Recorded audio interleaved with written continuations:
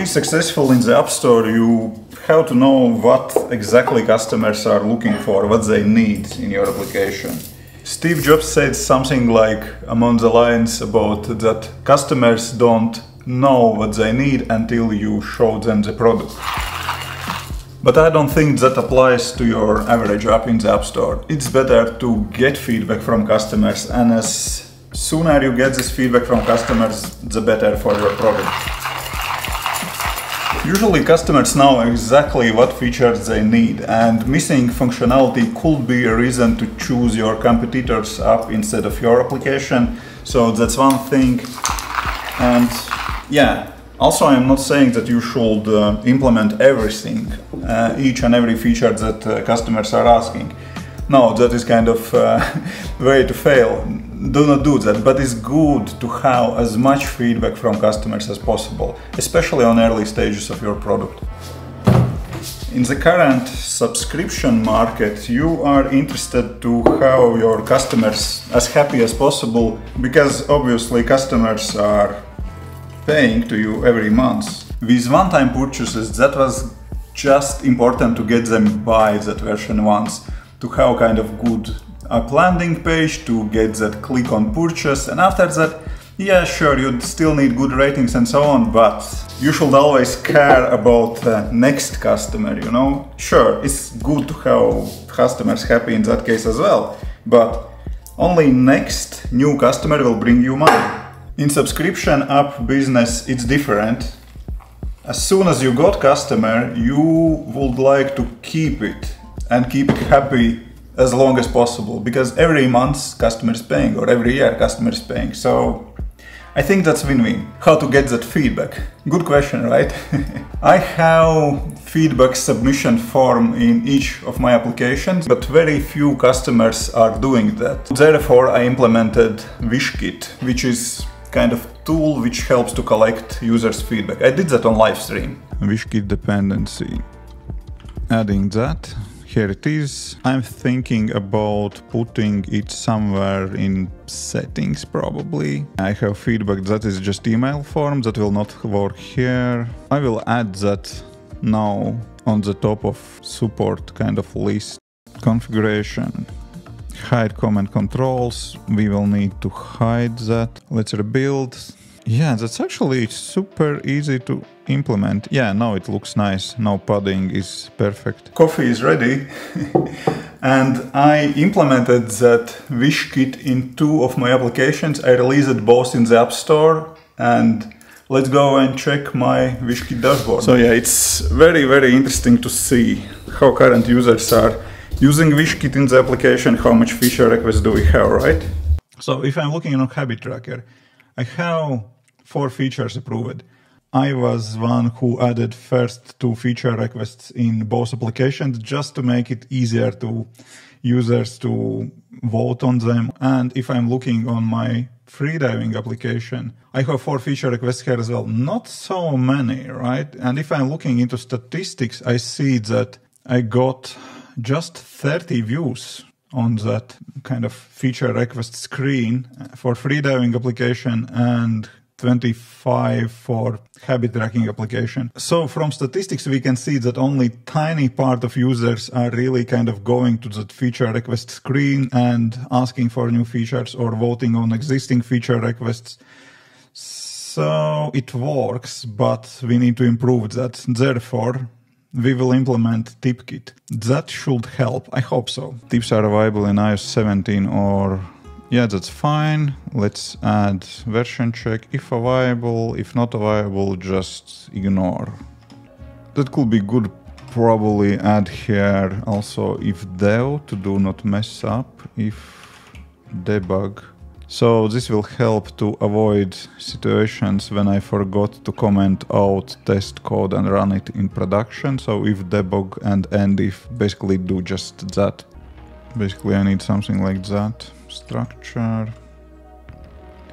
We don't need preview. Swift, U, Swift UI is needed.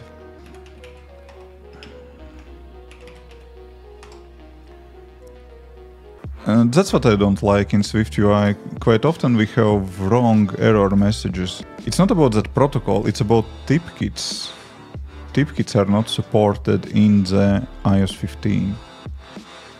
So that's totally wrong error message.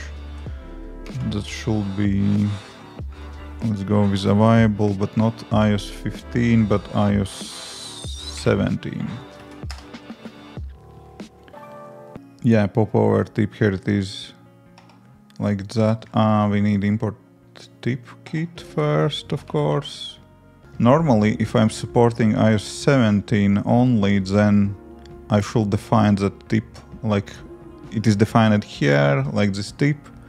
Then I have to define kind of local variable for that, and then I can just show it like that. Okay, good.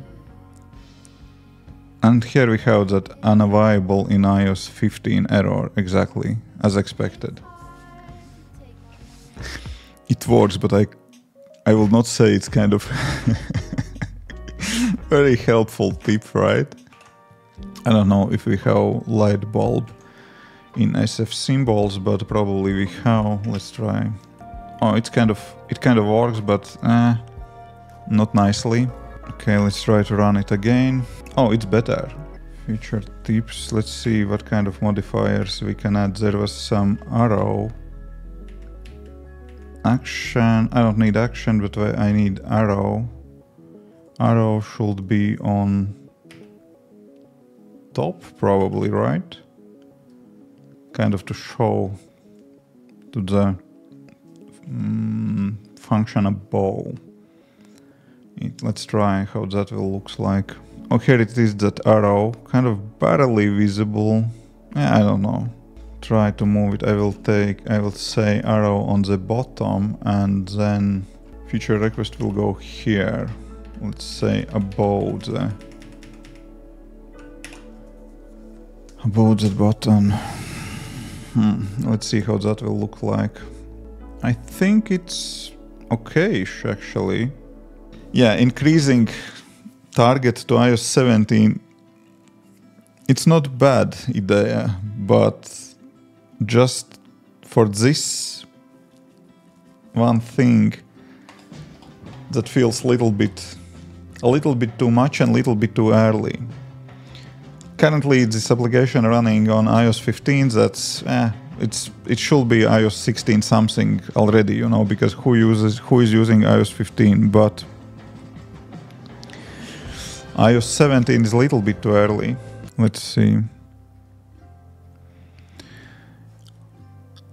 Yeah, that's a valid question, totally. But iOS 17 currently is only 20%, 25, whatever. So, see, at least 30% are still on 16.6. That's still bigger than everything else. Done, uploaded. Submit for app review, let's go. Item submitted. Okay, we are waiting for review. 2,000 years later. So, new feature is released uh, and available in the App Store, and yes, that will impact only about 30% of the users, maybe even less, which are on iOS 17. But if I'm looking in statistics, I see that I'm getting more views. So it was 10 views November 9. Today, November 10 is today, we have again 10 views. I don't have more feature requests, but I have more votes on them and more users basically see the screen, which is amazing. So next step, basically, I'm moving those feature request ideas, which I'm planning to implement. I'm moving those into my Notion template for project management and I will start on implementation for them. Okay, I am kind of happy with that result, but I have to say that even with such great tools like WishKit and TipKit as well, you have to iterate quickly on your ideas to see which works and which not, to do not waste time on projects which don't have perspective. Yeah, if you need help with that, check out that video with 30 days development sprints, how to get from idea to MVP.